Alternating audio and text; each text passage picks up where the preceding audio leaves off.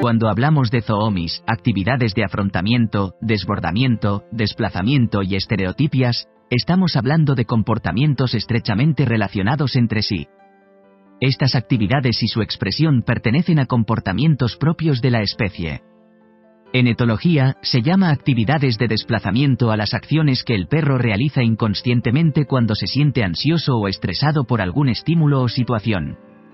Estas acciones pueden ser movimientos repetitivos, como rascarse, lamerse o sacudirse, u otras conductas que no tienen relación con el contexto en el que se encuentran. Las actividades de desbordamiento son comportamientos que un animal realiza cuando se encuentra en una situación de alta excitación, tensión o emoción. Estas actividades se muestran como comportamientos muy impulsivos y pueden incluir saltos, giros, mordiscos a la correa o la ropa, vocalizaciones excesivas, etc.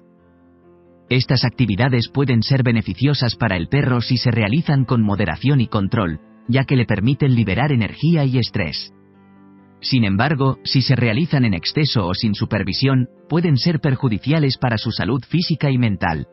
Las actividades de desplazamiento son una forma de liberar tensión acumulada en situaciones de conflicto o estrés, mientras que las actividades de desbordamiento son una forma más intensa y dramática de liberar la tensión que no se puede liberar a través de las actividades de desplazamiento.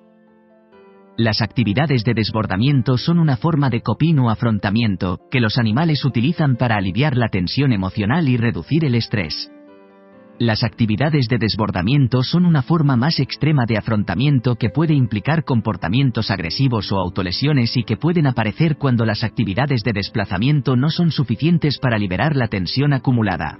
Entre ellas podemos encontrar hiperactividad o hipercinesis, y actividades fuera de contexto como escarbar, bostezar, estirarse, ladrar, saltar, etc. Todas estas actividades para ser entendidas deben ser estudiadas en un contexto e intensidad específica, evitando absurdas interpretaciones como que, si un perro bosteza, se lame, estira, rasca, etc., debemos sobreprotegerle haciendo de su vida una burbuja antiestrés. Debemos ser razonables y entender que la salud está siempre en los puntos intermedios.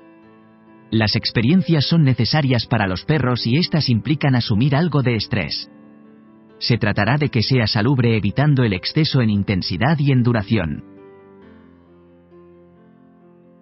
Los zoomis o fraps, que se traduce como períodos de actividad frenética aleatoria, son explosiones de energía que los perros tienen ocasionalmente y que se caracterizan por comportamientos repetitivos y frenéticos, como correr en círculos o girar sobre sí mismos.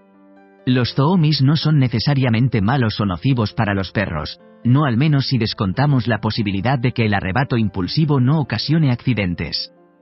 Las actividades de desbordamiento o desplazamiento no son comportamientos de actividad aleatorias frenéticas o zoomis, pero es evidente que están muy conectadas.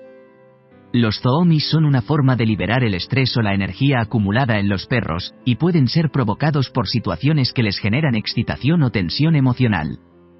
Por ejemplo, como vemos en los vídeos, la hostilidad del gato provoca un estado de alta excitación o tensión emocional que tensa al perro. Este termina desplazando o gatillando hacia la conducta frenética. Ahora bien, en este caso más que actuar como actividad de desplazamiento como liberador de tensión interna o estrés, provoca o induce la aparición de la conducta frenética o zoomi. El zoomi también puede aparecer cuando el perro anticipa un evento deseado, por ejemplo, salir a la calle. En estos casos la línea entre las actividades de desbordamiento, copín, zoomis o desplazamiento quedan difusas.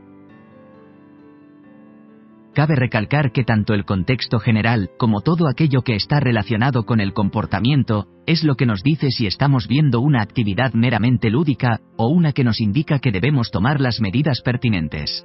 La excitación y el estrés son cosas distintas. La excitación es un estado de alta tensión nerviosa o emocional. Está limitada a un evento y suele estar ligada a un valor hedónico positivo. El estrés es una respuesta de adaptación general que provoca un cambio neuroendocrino más prolongado. El estrés suele estar vinculado a un valor hedónico negativo. Permanecer en un estado de alta excitación durante demasiado tiempo necesariamente terminará iniciando un proceso de estrés agudo, ya que el organismo necesitará adaptarse para la demanda psicomotriz. Por lo tanto, un perro estresado tenderá a mostrar respuestas más reactivas, ya que el estrés mantiene un sistema nervioso más activo o excitado. La estereotipia nos alerta de que debemos tomar medidas urgentemente. De no tomarlas podrían aparecer los problemas de retroalimentación positiva ya mencionados, que pueden dificultar tanto la mejoría y el bienestar del perro. Esto se debe a dos aspectos que dificultan la mejora del trastorno, un componente adictivo y por tanto fisiológico, y un componente relacionado con la costumbre y por tanto aprendido. Es aquí donde el estrés actúa como combustible para la estereotipia, ya que la respuesta al estrés implementa las respuestas compulsivas e incrementa la tensión interna. De este modo se cierra un círculo vicioso de retroalimentación positiva en una conducta que una vez realizada, promueve la aparición nuevamente de la misma conducta.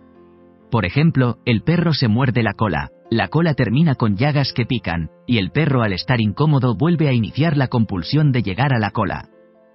Los animales con falta de estimulación pueden mostrar estereotipias como andar en círculos, deambular de un lugar a otro, morderse el rabo, ladrar compulsivamente, lamido excesivo y en casos más graves automutilación. Lo interesante de comprender las distinciones entre estos comportamientos tan estrechamente conectados, podría ser separar aquellas de estas actividades que se encuentran más relacionadas con efectos negativos para el perro y aquellas que son razonables dentro de lo salubre.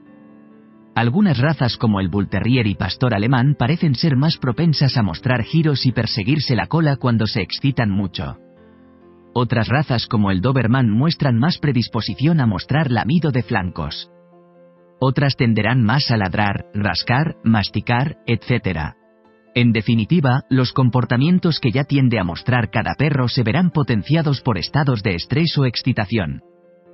Como ya he mencionado, hay conductas de desplazamiento, desbordamiento, zoomis, etc., que entran dentro de lo razonable en la vida de un perro sano. Ahora bien, si el cúmulo de estresores y la incapacidad de autocontrol supone un problema, entonces será necesario tomar medidas. Ejemplos de actividades que ayudarán a nuestro perro a no caer en algunos trastornos y en definitiva a mejorar su calidad de vida son pautas como promover interacciones sociales positivas, Practicar paseos tranquilos y agradables. Mucha exploración y enriquecimiento ambiental. Juegos amistosos con humanos y otros perros. Evitar jugar a actividades que promueven la compulsión y el estrés agudo. Evitar una sobreexposición a estresores, entre los que se incluyen miedos no superados, y en los que debemos intervenir para ayudar a su superación.